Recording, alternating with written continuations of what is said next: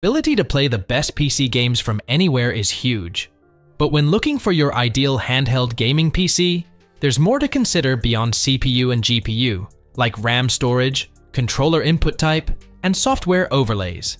So in this video, we've composed a brief consumer guide and reviewed the top 5 best handled gaming consoles currently available. For more information on the products, we've included links in the description box down below. Let's get started.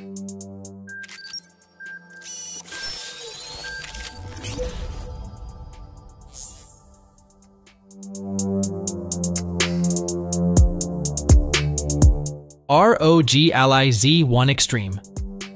It's far from perfect, but the ROG Ally is an exceptional handheld gaming PC that delivers better performance than the Steam Deck. It also boasts full PC compatibility thanks to the fact it's a Windows device, but that's ultimately both a blessing and a curse when it comes to the overall experience.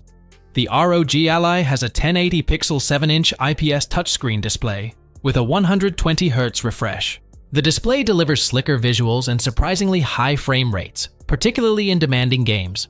At the base 599 US dollars price, the ROG Ally is equipped with the latest AMD's Ryzen Z1 Extreme processor on Zen 4 architecture, 16GB of RAM, 512GB of SSD storage, and AMD RDNA 3 architecture-based graphics. You can upgrade and replace it with another M2 2230 SSD with a single pop-open screw. The ROG Ally plays it simple with an Xbox-style layout and traditional ABXY face button array. For added security, the handheld also features a fingerprint scanner on the power button. All in all, the ROG Ally is arguably the best Windows 11 handheld, but it's still not perfect. Valve Steam Deck a powerful portable gaming PC that can fit in your pocket is certainly an attractive proposition. The Steam Deck offers all of the power of a high-end gaming laptop in a much smaller package. With this device, there's a huge amount of Steam games to choose from, and the 16GB of onboard RAM is more than enough power for the majority of games out there. Downsides? Some games won't work straight out of the box, and either require a little bit of tweaking on your end or the developer's end. The Steam Deck has two thumb-sized analog sticks on either side of the 7-inch LCD touchscreen. In your hands, the console does feel pretty huge in comparison to the Nintendo Switch Lite, yet it's still very comfortable to reach all of the controls, including ABXY buttons and two trackpads with haptic feedback. Besides, the Steam Deck's LCD screen runs at 1200 by 800 at 60 Hz refresh rate, and it looks really good. The console runs a form of Arch Linux, and not every game might run on it. Hence, if you don't like fiddling with the OS, it may not be for you. All in all, the Steam Deck is a well-built piece of hardware that feels good to hold and play on. When you're playing a Valve-approved game, it's actually incredible to get this kind of performance out of a device so small and compact. Lenovo Legion Go The Legion Go is a bulky handheld gaming PC with a bright display and detachable controllers. At weighing 1.88 pounds with the controllers attached, the Legion Go is relatively large and in charge. Its plastic chassis feels sturdy. This console has a gigantic IPS screen 8.8 inches, 2560 by 1600 pixel resolution, and up to a 144 Hz refresh rate. It's overkill, but feels luxurious. Alongside its already mentioned display, it's built with an AMD Ryzen Z1 Extreme processor, 16GB of RAM, and 512GB or 1TB of SSD for anywhere between 699 US dollars to 749 US dollars. With specs like that, you'd expect great performance. One of the most unique features of the Legion Go is its FPS mode. This feature basically turns the right controller into a mouse, that navigates an on-screen cursor or crosshair while slide the controller around on a surface. Apart from that, the Legion Go packs a 49.2 watt-hour battery. Lenovo has based the Legion Go on Windows 11, and Legion Space software comes installed on the Legion Go and can be accessed by the slanting buttons on either side of the screen.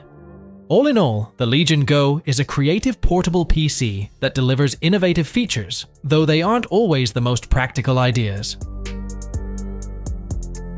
Ayaneo 2 If you're not working on a budget, the AYANEO 2 is the best handheld gaming PC on the market you might never have heard of. The high price is a lot to handle, but for that, you get incredible performance, sleek ergonomics, and a design that lends itself to hours of play. The console is powered by AMD Ryzen 7 6800U, which comes with the Radeon 6 80M graphics. The 680M is capable of playing games at 1080 pixel in low to medium settings. The base variant of the AYANEO 2 comes with 16GB of RAM and 512GB SSD storage, which is expandable using M2 2280. At 1,100 US dollars, the AYANEO 2 isn't exactly affordable, and experts may argue that the Steam Deck is still a better choice, which it is. But if you can afford the AYANEO 2, you certainly won't regret buying the handheld gaming console. Apart from that, it also has a higher TDP of up to 25 watt, and powering that is a 50 watt hour battery. Like most gaming handhelds, the AYANEO 2 comes with an integral piece of customization software called AYASpace. Inside this software, you can launch games, customize the programmable buttons, configure the joysticks, and update the firmware for its different components. All in all, the AYANEO 2 is a major step forward from the AYANEO Next and Steam Deck, and it feels almost as good as it plays. It's expensive, but excellent. Nintendo Switch OLED The original Switch is a fantastic device, but it has a couple of minor flaws. The screen isn't the best quality, and its flimsy kickstand isn't super sturdy and can break easily. Fortunately, both of these are fixed with 350 US dollars for the Switch OLED. The new 7-inch OLED display is the most prominent new design feature. Games look more vibrant as a result, and there's improved detail in darker scenes. The Switch OLED is still made of plastic in the main chassis, but it feels far nicer than its predecessor, with a firmer build that's better able to hide fingerprint smudge marks. The speakers have also been enhanced, with louder and more detailed sound. Sure, the Switch's innards aren't exactly impressive, but they ultimately get the job done.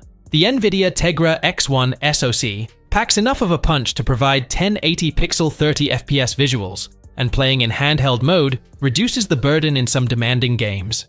Internal storage is 64 gigabytes, twice that of the base model Switch, while the fascia buttons and kickstand have been revamped.